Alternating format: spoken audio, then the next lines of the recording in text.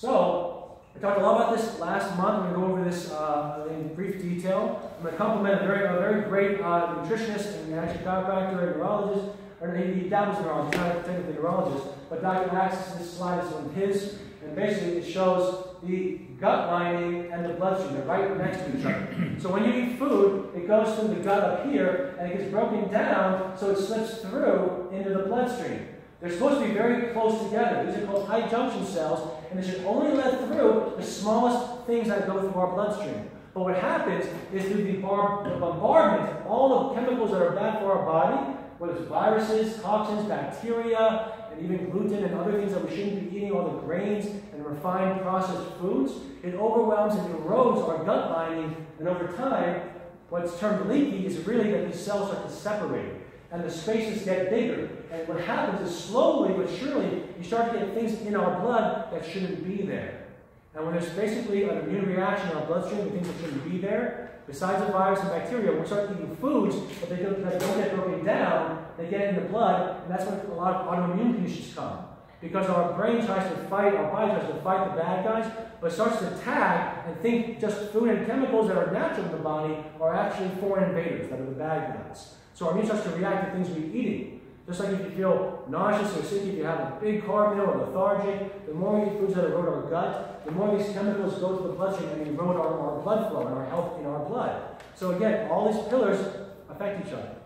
But what we're going to talk more about is the fact that leaky gut also equals leaky brain. This is not talked about as much. There's a barrier between our bloodstream and our gut health. There's also another barrier very similar in our brain to separate, to not let chemicals to go into our brain. And that's what happens when we start to lose the connection in our brain, in our gut. We start to lose the barriers in our brain. Especially if you're eating things that shouldn't affect you, but you feel terrible, or you. When you eat food, by the way, you should feel no different afterwards. You shouldn't feel excited or lethargic or anything like that. You should just feel full, not too full. But as we have more cognitive symptoms, a lot of it can be because of the problems with this barrier system. So we have to clean our foods, not just for our gut health, but from our brain as well. In fact, the longest nerve in the human body is called the vagus nerve, which is one that connects our brain to our gut and our other organs. And it runs all the way down. So again, our brain and gut are highly linked together. So yes, leaky gut's talked a lot about in the media, it's important for our brain. It is one piece, but an important piece. So that leads to autoimmunity. The chiropractic role is that I mentioned that inflammation can cause more inflammation in the brain. Basically, if it's familiar for anybody in here, maybe a long day at work, the more tension in our joints, it can cause more stress. It's actually been shown. This is my buddy here. Some of you guys recognize him. They need to have a spine for many reasons to help house and protect our nerves. As a chiropractor, we want all the joints to move optimally. When you bend, when you twist, when you move, every vertebrae here, every bone should separate and move because the holes between are all the nerves come out. And they connect this relay system from brain to body. But when things are restricted and stiff, we have to work on them to loosen them, is to take pressure off of the nerve. And when you, uh, what's been shown in the research in the past five years is that when, when that happens, we lose the projector and all goes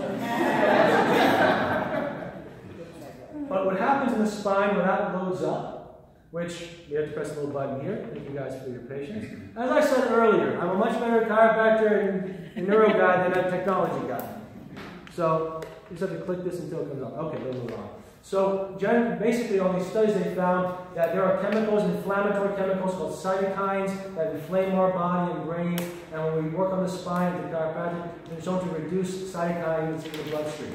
So there's actually an immune reaction and a way to actually reduce some of the inflammatory reactions with getting this looser in your joints. Because the whole goal is we love the spine, but the whole goal is to pressure off of the nerves. So ideally, we want to keep our spine healthy, we want to keep our diet healthy, and we want to help do these to help protect ourselves from trauma in the head. So that's where we have to be gentle and careful with sports and other activities because a car accident or falling on your head, it does have consequences. In fact, when I see a lot of concussion patients or head injuries or car accidents in the office, the very first thing we want to do is try and get more oxygen to the brain. The adjustments help reduce, uh, improve blood flow, but also taking things that reduce inflammation. So one of the supplements I recommend for everybody that's really key and vital is omega-3 fatty acids. You guys familiar with omega-3s? Omega-3 is what actually helps reduce inflammation in the blood and in the brain.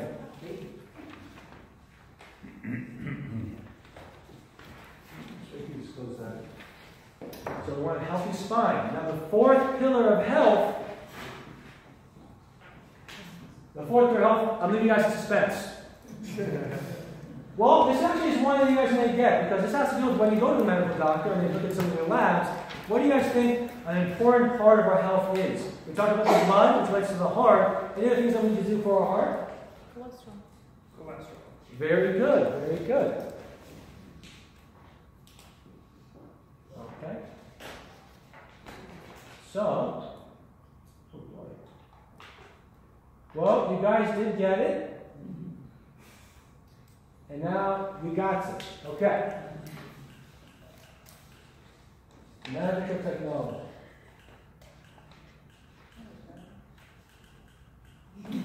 Dancing is also good for the brain. Absolutely. There's my dancer right there. We have some very star athletes in the room today. And I all my patients, the more active you are, the better your brain and your body. So, what I mentioned before is yes, not just cholesterol, but specifically all your lipids of the body. Don't be like this guy. Phospholipid health. Now, we oftentimes associate cholesterol with being bad. Cholesterol is not bad, it's just something that we have in our body that we need. Cholesterol, or specifically phospholipids, which is part of cholesterol, is actually what lines the cell membrane of all of our cells. Our muscles, our organs, and our brain tissue has some phospholipids in them. It's a protective barrier. But when things go awry with inflammation, chronic stress, we over time get more breakdown of our cells, which actually leads to more problems with our cholesterol rising. You know when LDL considered the bad cholesterol, right? You guys heard LDL cholesterol? Why I think it rises because LDL is actually what takes cholesterol and brings it to damaged cells in the body. Your HDL, the good cholesterol, is what helps bring things back to the liver for processing and repackaging. So the more problems with cholesterol, it can be due to also other factors in our overall health. So what we need to do for our cholesterol and our, our phospholipid health to help with Alzheimer's specifically is one, maintain healthy cholesterol levels. Now I mentioned earlier about another topic that it's important to keep cholesterol levels healthy because just like with blood flow, there's an association that having higher cholesterol, total and LDL cholesterol, increases Alzheimer's quite a bit. I mentioned that there was a couple countries in the world that actually have the uh, highest level of the gene for Alzheimer's. In those same countries, because they have very low cholesterol levels, they have lower risk than they do in America. Okay? And cholesterol has been shown up to 50% to increase the risk of Alzheimer's when they're very high levels. So, again, nutrition first, natural remedies first. I always recommend that. But if it's uncontrollable, if there's some hereditary issues with cholesterol there's no way to get it down, if you tried your hardest, and talk to me, if you tried your hardest, the next step sometimes is a statin or medication because they've shown, because of the reason of cholesterol causing problems, that when they lower cholesterol, whether it's artificially or, nutritionally, it does lower the risk of Alzheimer's. And the reverse is true if it's too high. The other aspect is optimizing omega-3s. I said it earlier, omega-3 is not just a um, supplement, it's a natural fat we need in our body. Can anyone guess a source of omega-3 fatty acids? Fish. Fish. That is the most common answer I get.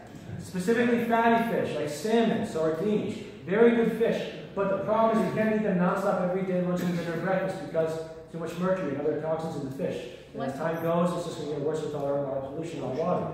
So we need other sources. Lentils. Lentils.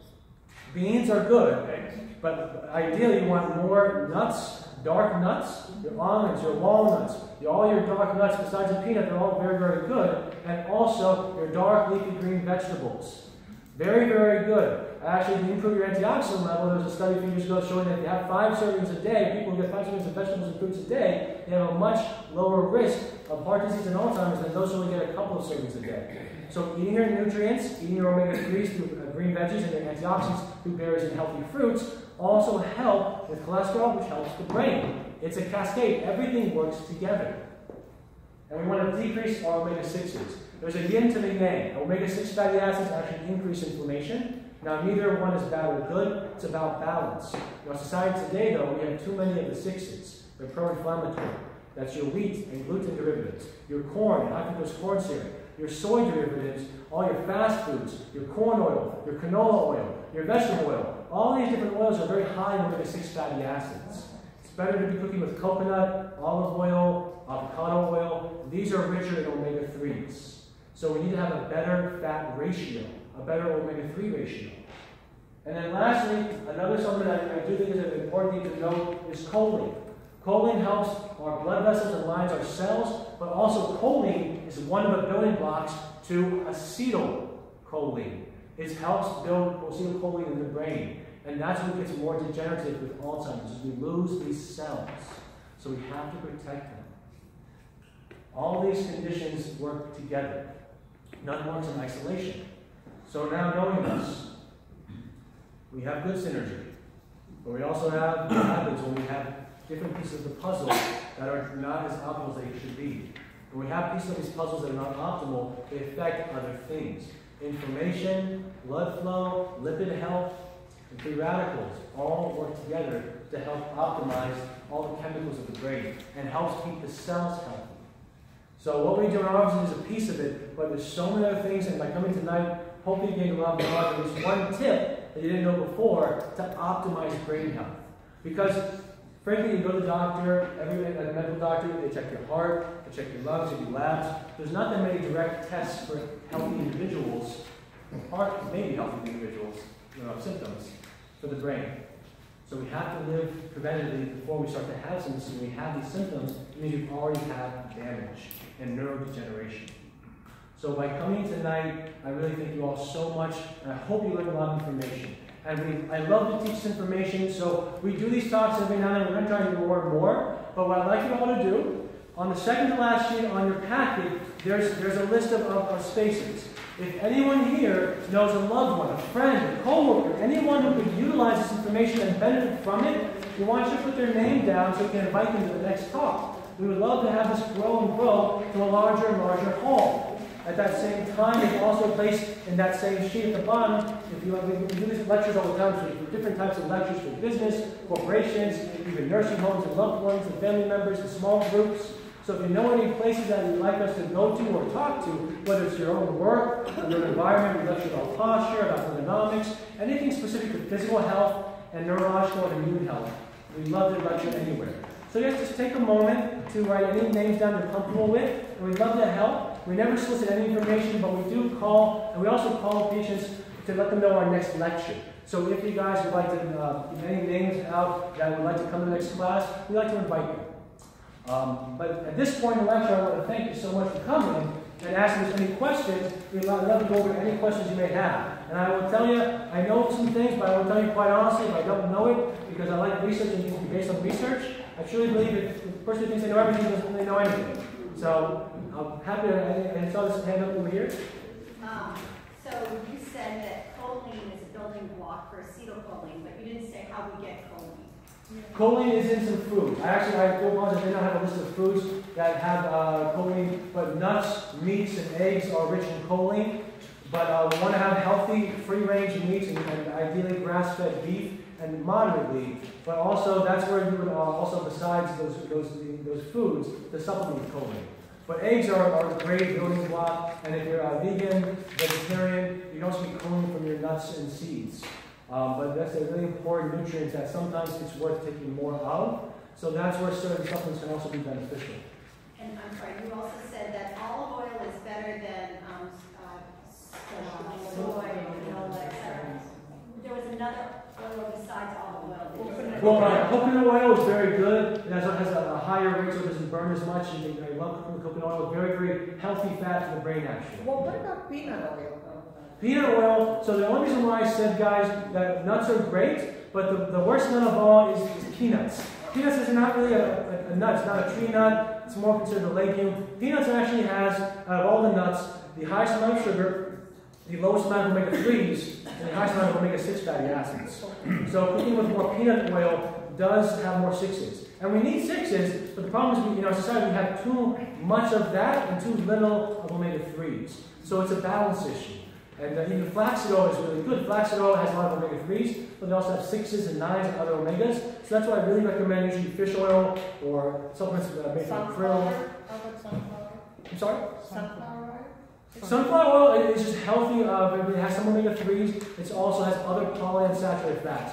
Think of your, when you guys look at your nutritional facts label, it says total fats, saturated, monos, and polys. The omega family is the poly family, polyunsaturated. But there's many different types. There's not quite as many in uh, sunflower seeds, but still, it's very, very good. You can't get fat or healthy off the nuts or seeds. It'd be really hard. What about grapeseed oil? Gra- Grapeseed oil, actually, that's interesting because it's still, it's good, better than, better than canola and corn. My father, a few years ago, started having in the house, but then I, I started looking into grapeseed oil, uh, and I started seeing, that actually was more omega-6 dominant. So again, it's not the worst thing in the world, but if we're trying to optimize omega-3s to reduce inflammation, we ideally want to have lesser of the 6s and more of the 3s. Avocado, Avocado. Has some omega 3s, but it's also a healthy monosaturated fat. Monos are very good too. Avocado is a great healthy fat. We actually need fat. Cholesterol is not produced by eating lots of fat. Oh, sure. How about MCT oil? Well, that actually is, is so. In this sharing, wonderful. I did a lot of nutrition. MCT stands for medium chain triglycerides. That actually is what coconut oil is. So a lot of times they may say MCT on the label. A lot of times with the ingredients, it's actually derived from coconut oil. So it would be just the coconut oil in your coffee and MCT oil. Especially if you're spending more money for the name. I, I really try, I mean, you know, there's certain- things I really am passionate about with brain supplements, but I never want to sell someone a pill. So I will always tell someone if a supplement is better or worse, or if it's, you can get it cheaper somewhere. Because generally, good health can be expensive. You know, I, I, I try and eat 95% of the time well, but sometimes I do splurge a little ice cream here and there. And it's sad that the ice cream with less ingredients, that's more natural, it's like a dollar or two more than the junky stuff. So real ingredients is key.